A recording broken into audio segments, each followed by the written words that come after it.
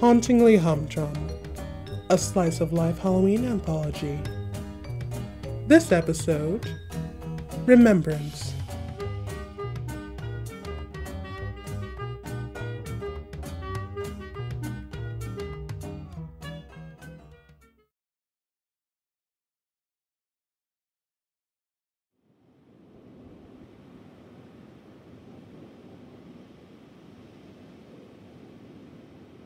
David paused outside the cold steel wrapped doors to the hospice.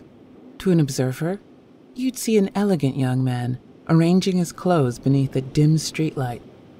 But David was preparing himself to pass through those doors. The wind tugged at his golden hair. The shiver that went through his body wasn't due to the cold fingers of fall that probed him. It was this place. A place filled with the sick and the dying. He wouldn't have come here if it wasn't for her. Was no place for a Fay. May I help you, sir? The gentle southern intonation of the nurse broke through David's musings. Um, yes.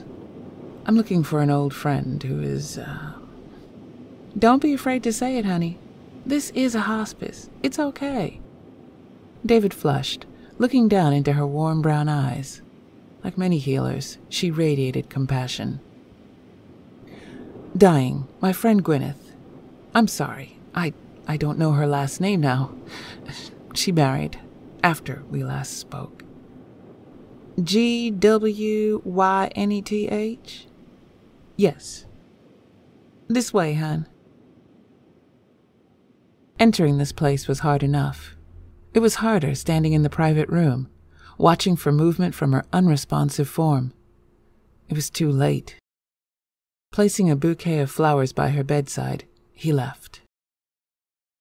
He dreamt of the first night they'd met, dancing by the fires of Lunasa, when a knife like pain stabbed his heart, tearing him from his sleep. Raggedly gasping, he curled around what felt like a torn hole in his chest, knowing this meant she was gone.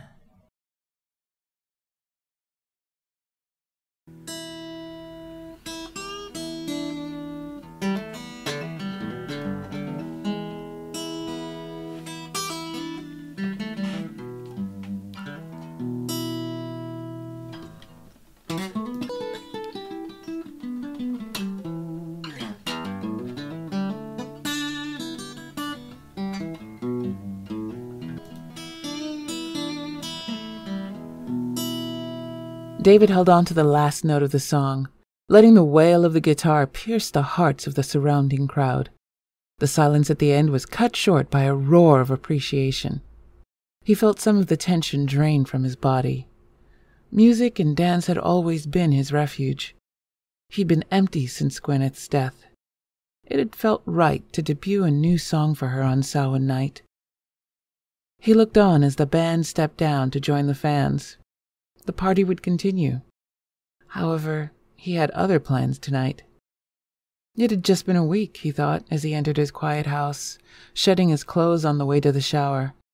As he washed away the day's dirt, a silver necklace with emerald stars shimmered under the gentle, warm flow of water. Dressed in simple robes, David padded into the kitchen to collect the night's offerings for Gwyneth fragrant mead and cake topped with the sweetest summer berries. He placed everything on the outdoor altar, hoping his apology could reach her.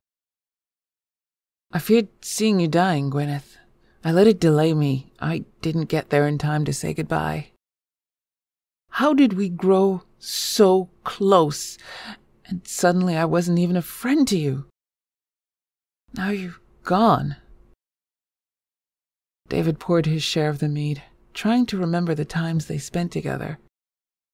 But it was no use, just emptiness.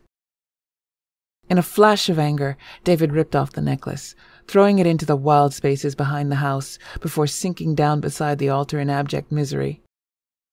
The evening breeze caressed his blond locks, feeling almost like hands. Then he realized they were hands.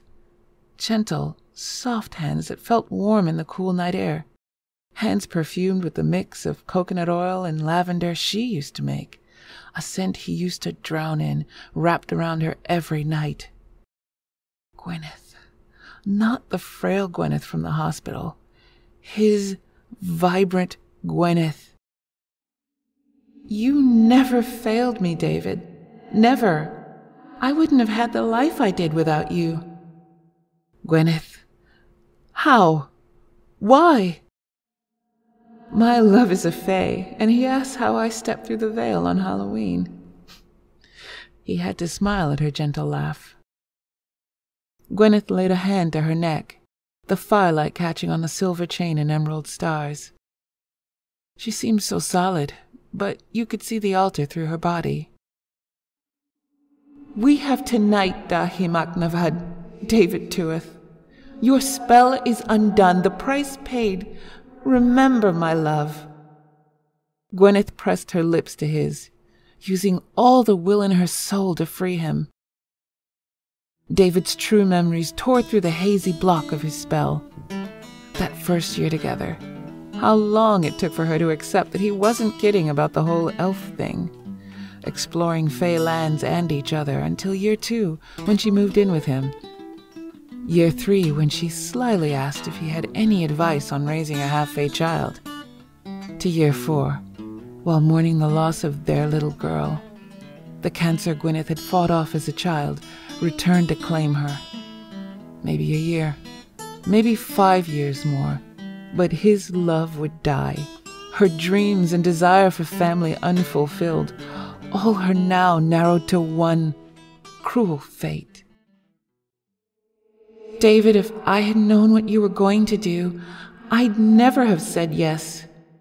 Decades ago, you worked your greatest magic. You offered the most important thing to you in exchange for my life. I thought it would take my immortality, my magic. I never thought it would take my love for you. You, of all people, know magic isn't afraid to demand the most. You gave me the greatest gift time, a full life, my great kids. Martin was a good man. My only regret was the cost. Gwyneth touched the necklace around her throat, a gift from happier times. You gave me everything. She kissed the tears that ran down David's cheek, drawing him to her.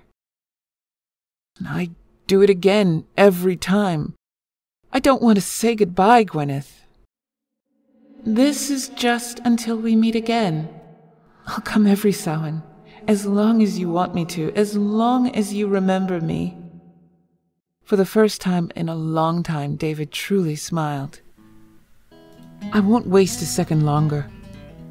Gwyneth MacNavad, will you dance with me this Samhain? In this world and any world after it, I will dance with you, Dahi MacNavad.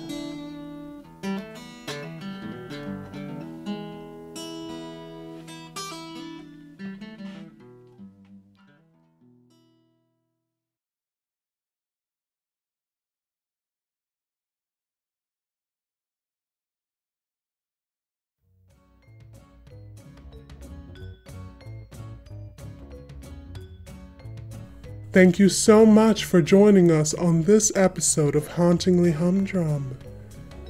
This episode was written and performed by Georgia McKenzie. Sound design by Gaby Hall. The music used for the intro and outro of the podcast is The Show Must Be Go by Kevin MacLeod. Links for transcripts and casting crew information can be found in the show notes. Happy Halloween!